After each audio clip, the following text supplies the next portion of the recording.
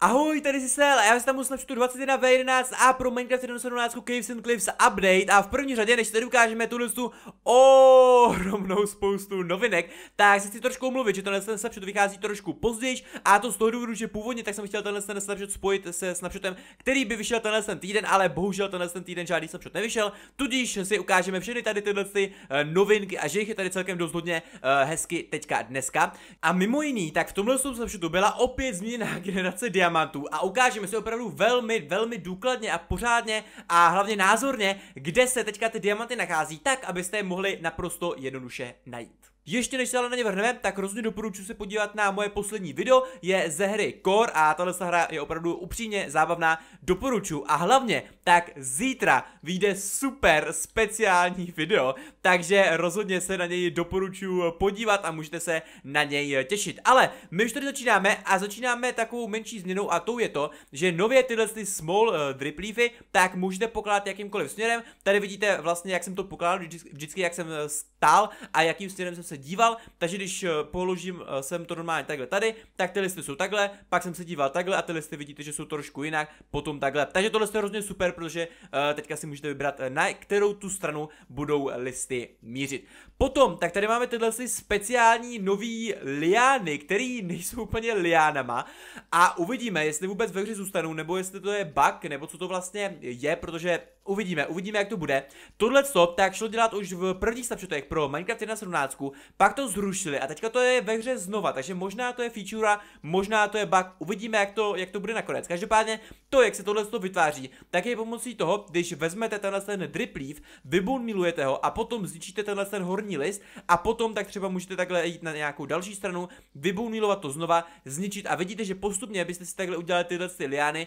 na kterých teda bohužel nejde, eh, nejde nějak líst, což je trošičku škoda, ale rozhodně je to super věc, jelikož takovýhle žádný liány aktuálně ve hře nemáme. Další dost eh, podstatnou změnou tak je to, že nově tak eh, byl změněný systém toho, jak se boumílujou právě tyhle ty Big Drip Leafový bloky a to tak, že už nemusíte jako prostě, prostě otrocky klikat na ten úplně nejvyšší eh, blok, což jste museli doposovat, ale teďka tak můžete i klidně na tyhle ty uh, níž, tak jako třeba u, já nevím, sugarcane, to nejde, ale třeba u bambusu a jiných uh, podobných bloků. To zároveň znamená to, že můžete používat i dispensery na to, abyste si tyhle ty bloky mohli nechat vyrůst, takže když to zapneme, tak vidíte, že nám to tady krásně roste. No a tou další opravdu hodně důležitou změnou tak je to, že nově už tyhle ty drip leafy nemusíte získat pouze od Wandering Traderů, kdy jste si mohli vyobchodovat tyhle ty malý, ale pokud teďka zničíte tyhle ty vlastně stonky, tak z toho ze všech těch bloků vypadnou tyhle ty velký drip leafy,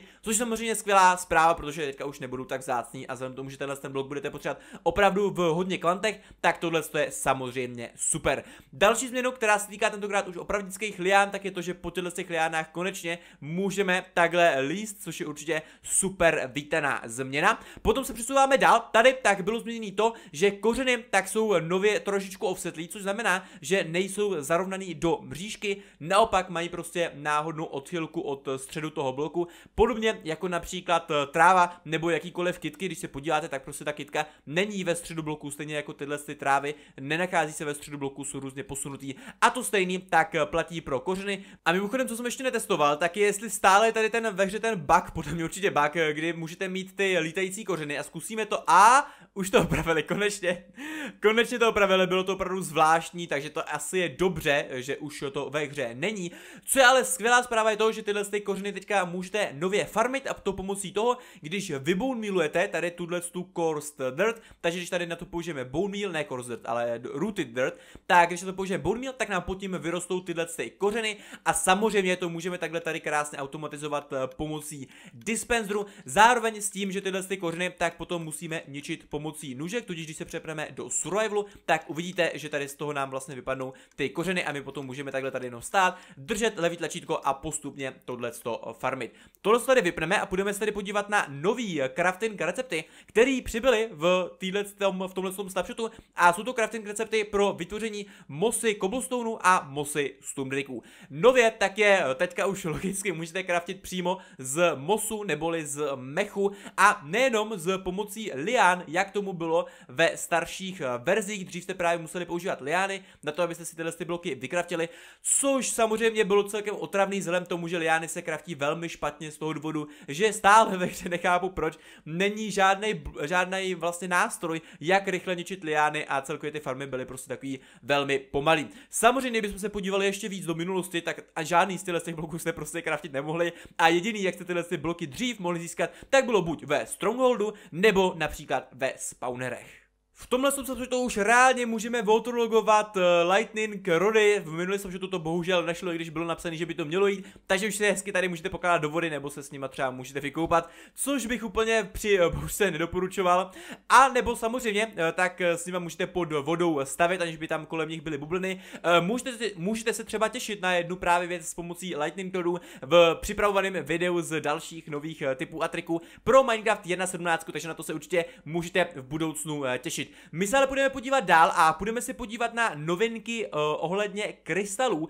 Nově, tak uh, ty krystaly uh, budou dropovat trošičku jinak, když tady přepneme do survivalu a zničíme tyhle ty krystaly pomocí ruky, tak uvidíte, že vypadnou nám dva krystaly, respektive tyhle ty ametistové šárdy. Když si ale vezmeme tenhle ten pickaxe, který má na sobě Fortune 3, tak uvidíte, že nám může vypadnout mnohem víc a to až právě 16 těchto těch eh, krystalů. Když jsme tady ještě těžili dál, tak vidíte, že třeba 8, minimum jsou 4, které nám můžou vypadnout, takže nám tady spadlo hezky krásně. Eh, další věc, co se teďka eh, týká toho, tak pokud zničíte vlastně ty mm, krystaly jakýmkoliv právě jiným způsobem než pomocí krumpáče, tak z něj vypadnou právě pouze, pou, pou, pouhý tyhle ty dva šárdy, což znamená, že automatické farmy na tyhle ty krystaly budou o něco méně výkonný, zároveň ale se budou trošičku lehčejc stavět. Další otravný bug, který byl opraven, tak je to, že nově, když budete bone tenhle ten lichon, ten lišejník, tak uh, už nebude se vás potřebovat nonstop bone meal, pokud budete bone tenhle ten jeden blok,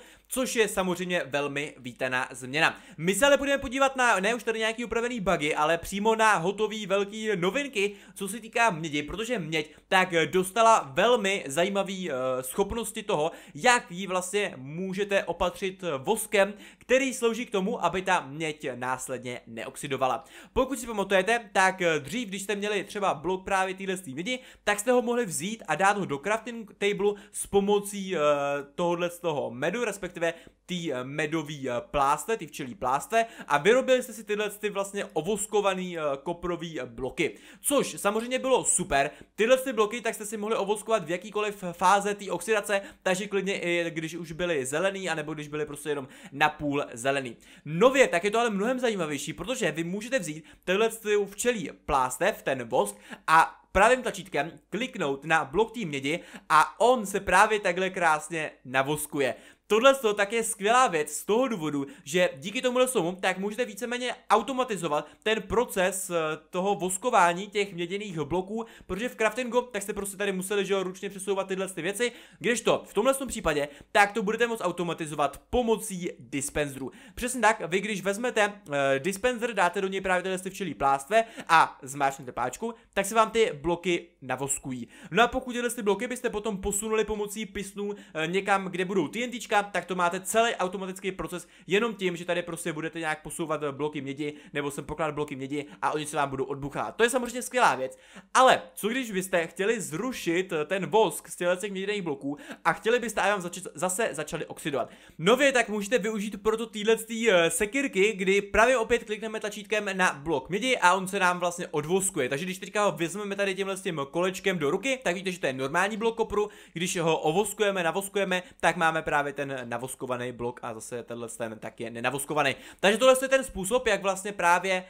um, můžeme nově uh, navoskovávat, voskovat uh, ty bloky ty mědi, uh, nebo z nich naopak ten vosk seškrábnout. Uh, bohužel, co je trošku škoda, tak nejde uh, vlastně automaticky právě zrušit uh, to voskování těch bloků. Když tady tohle dáme, tak tady tu sekirku to jenom vystřelí a není to, že by to prostě spotřebovalo, jako kdyby tady třeba byly nějaký nůžky, ovce nebo něco podobného. To bohužel, bohužel nejde, možná je to věc, kterou v budoucnu e, přidají. Zároveň tak můžeme udělat a vytvořit úplně automatický vlastně um, navoskování těch bloků v určitý fázi ty jejich oxida oxidace, pokud bychom chtěli mít právě jenom třeba napůl zoxidovaný eh, všechny ty bloky uh, a aby nám prostě nezoxidovali úplně, tak můžeme na to využít tyhle vlastně naprosto jednoduchýho prostě přístroje nebo něčeho takového, uh,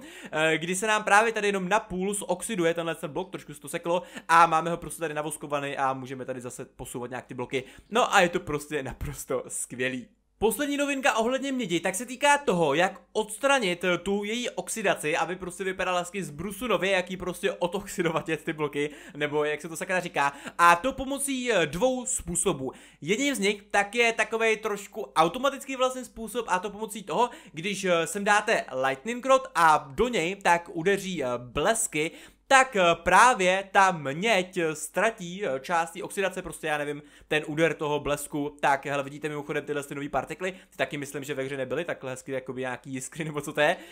um, tak prostě tam uh, ta oxidace se z těch bloků odstraní a díky tomu tak postupem času, vidíte si teďka, tady to krásně vidíte, tak postupem času byste získali úplně z brusu novou tu měď. Tohle je způsob, jak právě to můžete trošičku automatizovat a to pomocí toho, kdybyste tady měli nějaký posuvník těch bloků, bylo by to ale extrémně extrémně, extrémně pomalý, protože i když my to můžeme samozřejmě urychlit pomocí tady tohohle z toho tridentu, kdy ručně sem vyvoláme ty uh, blesky, což je samozřejmě super, ale i tak vidíte, jak je to strašně pomalý a museli bychom tady prostě stát a stát a stát a stát a stát. Takže tohle to asi není úplně ten nejlepší způsob, eh, jak eh, tohle to automatizovat. Ten druhý způsob, jak můžeme odstranit právě tu oxidaci z tým mědi, tak je opět pomocí sekirky. My když si tady tuhle sekirku vezmeme, tak nejenom, že my můžeme že odstranit eh, ten vosk tady z tohohle z toho, ale zároveň tak i právě tu rest. Tudíž, když použijeme opět pravý tlačítko, tak vidíte, že ta, uh, ne res, ale ta oxidace prostě postupně, že odchází,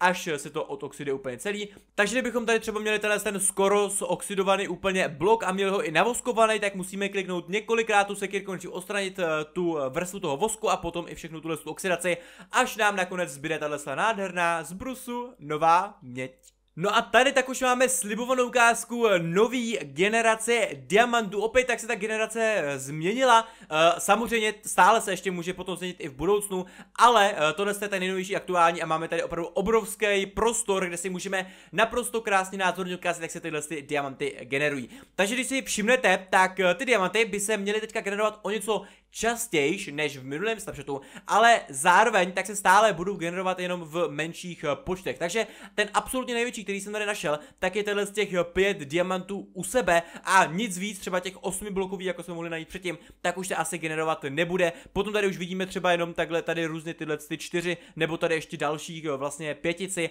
ale to je ten absolutní, to je to absolutní prostě maximum, uh, nic většího už asi bohužel nenajdeme. Jak vidíte, tak ty diamanty jsou opravdu ve všech těchto těch úrovních, ale zároveň tak uh, přibývají opravdu s tou hloubkou a čím níž jdeme, tím více nachází uh, vlastně tady na těch úrovních, těch nižších a s tím, že potom tady u Bedrocku, tohle je skoro u Bedrocku, tak se jich nachází úplně nejvíc. Tohle tak už ale bude všechno z tohohle z toho videa, když se vám líbilo, pokud ano, tak rozhodně mi dát like, pokud nemáte, tak budu určitě moc rád za odběr, nezapomeňte se podívat na moje poslední video a hlavně tak se těšte na zítřejší video, který bude rozhodně skvělý. Já se ale budu těšit do nějakého dalšího videa, zase někdy. Takže čus!